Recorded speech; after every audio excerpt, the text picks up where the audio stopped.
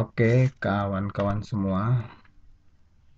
Mungkin banyak dari kawan-kawan yang belum mengetahui ada sebuah software yang mudah digunakan buat merekam tampilan yang tertera di layar komputer atau laptop kita.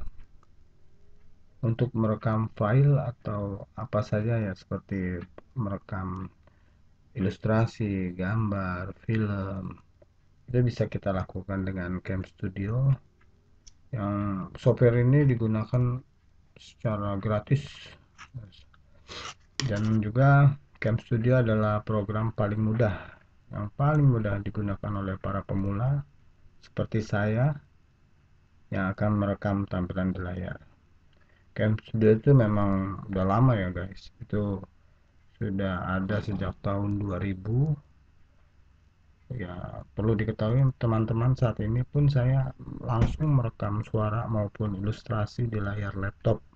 Jadi menggunakan Cam Studio.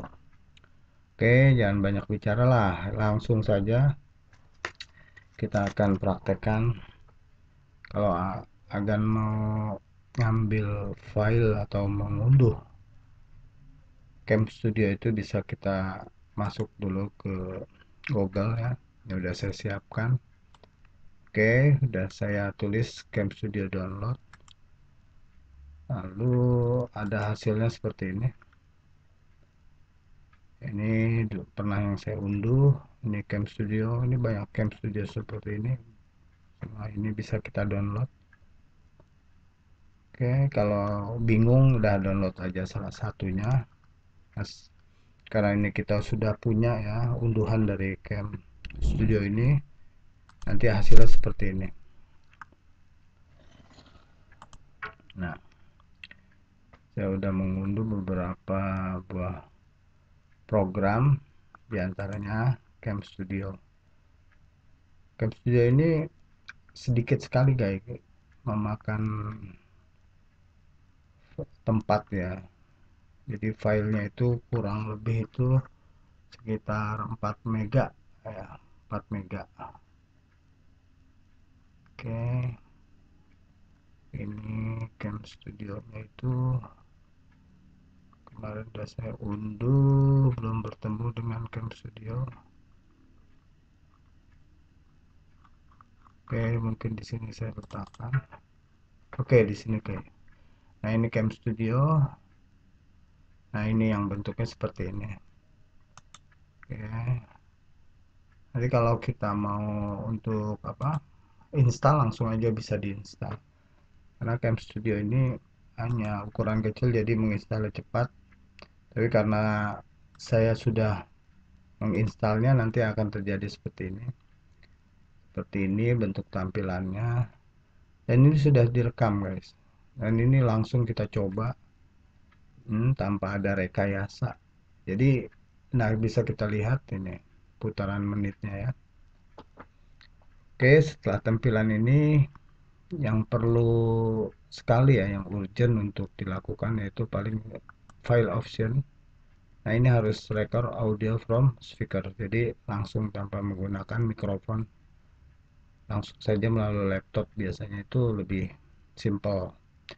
Dan juga jangan lupa ini sama saja ini pause seperti pause pause yang ada ada di sini tampilannya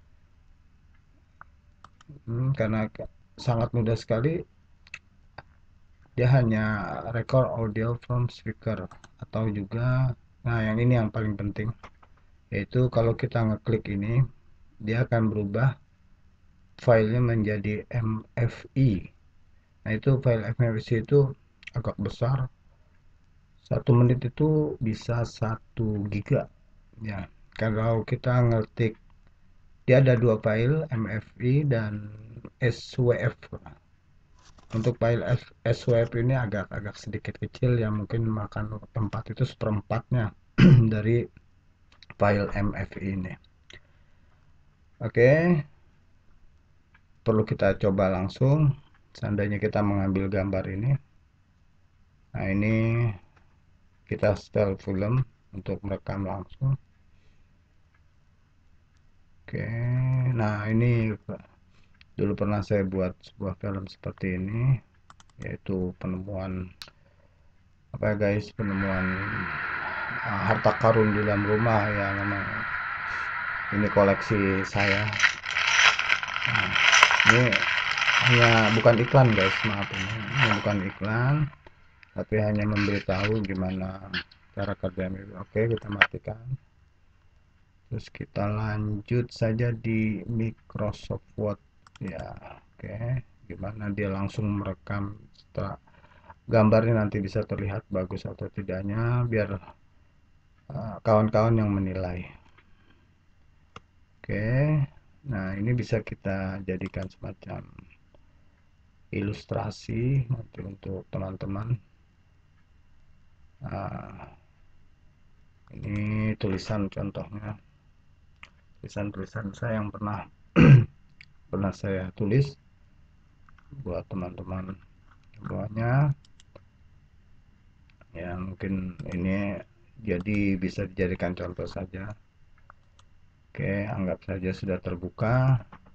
Oke yang perlu kita langsung apa cam itu bisa kita langsung saja langsung kita klik ini.